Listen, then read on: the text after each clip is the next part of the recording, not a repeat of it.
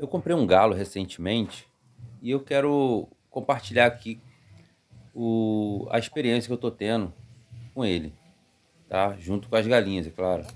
Eu, eu coloquei esse arroz aí, eu peguei um pouco de arroz, né? Joguei no chão aí. Por quê? Ele, ele é muito arisco, ele é novo, ele tem cinco meses. E sempre que eu chego perto dele para poder filmar, poder falar, comentar sobre ele, ele corre. Então para facilitar, estou jogando esse arroz aí e estou conseguindo gravar um pouco mais de perto ele aí, ó.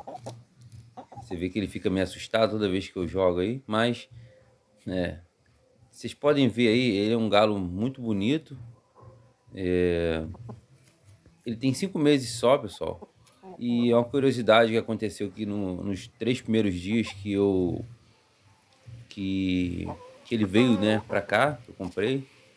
Ele tem umas duas semanas. Os três primeiros dias, ele ele tava de, dormindo em cima da, do ninho. Dormindo em cima do ninho. O ninho é um ninho suspenso e ele ficava acima das galinhas no puleiro, né? E o que acontece é que ele tava cagando tudo o ninho, né? Então, para tirar ele de lá, eu tive que colocar umas madeiras, por quê? Porque ele tava cagando o ninho todo, né? Eu vou mostrar aqui também para vocês é, o casalzinho que eu comprei. Na verdade, era era para ser dois, duas franguinhas, né? Era para ser duas franguinhas, é, mas é, pelo visto é um casal.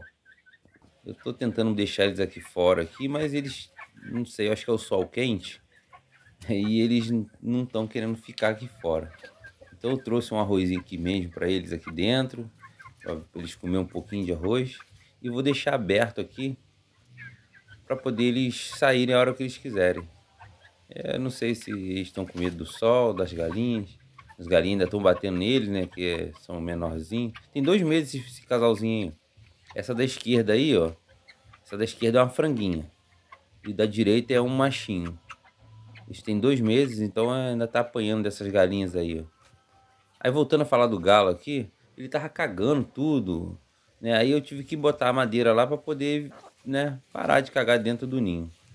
Aí agora sim, agora ele tá dormindo em cima do puleiro junto com ela. Mas antes de dormir, ele ficou dormindo dois, duas noites no chão. Ele não queria dormir com as galinhas. Mas agora é, tá dormindo, que bom. Agora ele tá no puleiro, na mesma altura que elas. Tá, tá se adaptando legal aí, interagindo. Ele já tá galando elas. Isso é muito importante, né? Porque eu quero mais para frente tirar uns, uns pintinhos aí, né? E eles vão ser minhas matrizes aí, esse galo, essas quatro galinhas.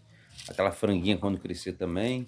O, frang, o, o franguinho eu vou vender, né? Que eu não vou ficar com dois galos, tá? Mais para frente eu vou tirar uns pintinhos, eu quero né, produzir igual eu tava fazendo antigamente. É, botar os ovos para eclodir, né, fazer um pinteiro, é, aumentar a criação. Né? Eu acho muito bonita essa raça, é Brahma Light, né? Acho muito, muito bonito mesmo. Por isso que eu não quero ficar sem essa raça, eu vou produzir mais filhotes, vou aumentar a criação. E quando tiver vídeo aí dos pintinhos, da eclosão, novos vídeos de, de, de ovos, né? Vai ser top, eu vou trazer aqui mais coisas. Mas o galo, mais para frente eu falo mais sobre ele. Ele é um galo novo e tem muito que apresentar ainda, muito que fazer, muito que trabalhar. Valeu, pessoal. É o vídeo de hoje. Valeu, fique com Deus.